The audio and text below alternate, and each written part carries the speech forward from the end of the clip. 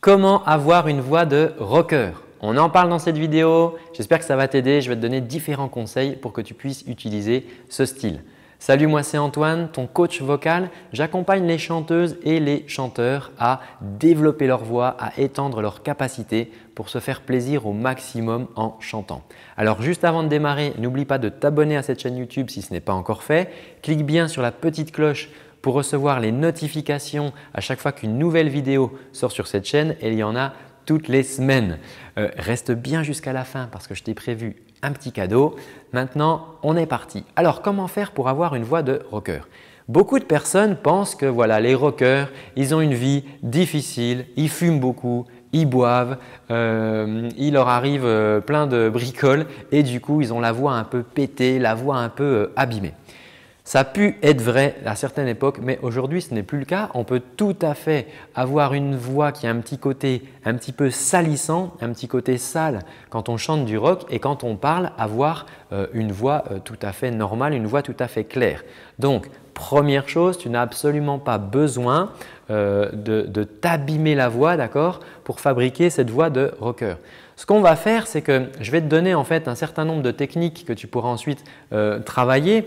Euh, comme ça, ça va vraiment te donner des pistes pour utiliser une voix de rocker. Alors, la voix du rocker, en fait, qu'est-ce qui se passe? Le rocker, il va utiliser différents artifices, des effets vocaux. Et là, je ne te parle pas d'effets électroniques, hein, mais vraiment d'effets qu'il va utiliser au niveau de sa voix.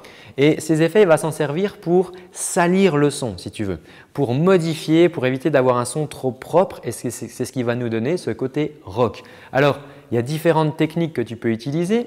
Il y a euh, par exemple la technique de friture. Ça, c'est la friture. Donc là, ce sont mes cordes vocales qui, font ça, d'accord? Ce n'est pas un effet. Et toi, je vais pouvoir le mettre dans ma voix. Ça fait un petit grésillement comme ça qui me salit le son. Donc ça, ça peut tout à fait donner un côté rock. Alors si tu cherches en anglais, c'est fry, F-R-Y, ou en français, on appelle ça aussi de la friture. Euh, on a aussi euh, ce qu'on appelle le inhale, qui est une sorte de friture inversée. Donc là, on va arriver dans des sons euh, plus extrêmes, d'accord? On parle aussi des fois de pig scream, le cri du cochon. Donc ça, c'est une technique aussi que tu peux étudier. On va aussi euh, utiliser eh bien, les techniques de saturation. Ça, c'est une saturation. Donc là, il ne se passe rien du tout au niveau de mes cordes vocales. C'est un effet que j'utilise au-dessus. Au-dessus. Donc, euh, technique de saturation, par exemple, ça, ça va être intéressant pour toi de travailler ces techniques. Si tu veux faire du, rock un petit, peu, euh, un costaud, un peu agressif, il va falloir mettre de la saturation dans ta voix. Du coup, ça, tu peux euh, travailler ces techniques en particulier. Il faut faire attention, ces techniques-là, en fait, on a vraiment besoin d'un micro.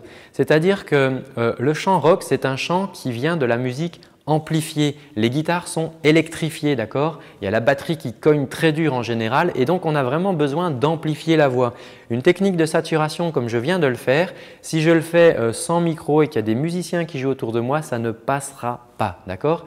Donc je t'invite à vraiment travailler avec un micro si tu veux travailler les techniques de chant rock. Je t'ai donné là plusieurs pistes, donc la friture, tu peux travailler ça, le inhale ou le pick scream, la technique aussi de, de saturation.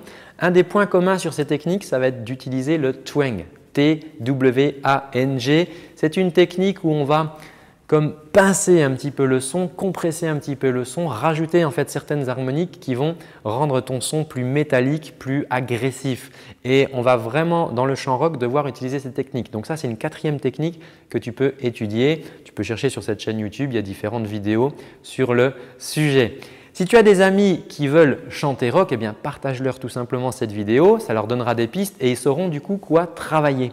Maintenant, je t'avais parlé d'une petite surprise, chanter du rock, ça demande une grosse technique vocale. Il faut vraiment savoir gérer son air efficacement, il faut bien utiliser la résonance, il faut bien utiliser ses cordes vocales pour éviter justement de se les abîmer et euh, il faut aussi bien s'échauffer. Alors je t'ai prévu un package que je vais t'offrir aujourd'hui pour te remercier d'avoir suivi cette vidéo jusqu'à la fin.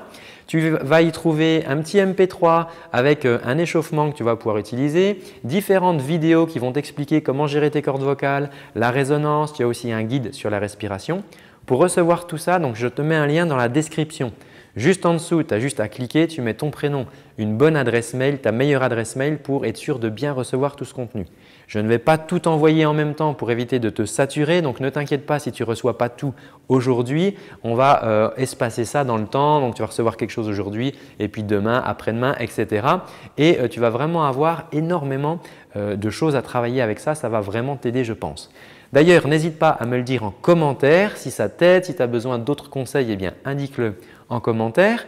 Euh, je te donne rendez-vous dans une prochaine vidéo. D'ici là, prends bien soin de ta voix.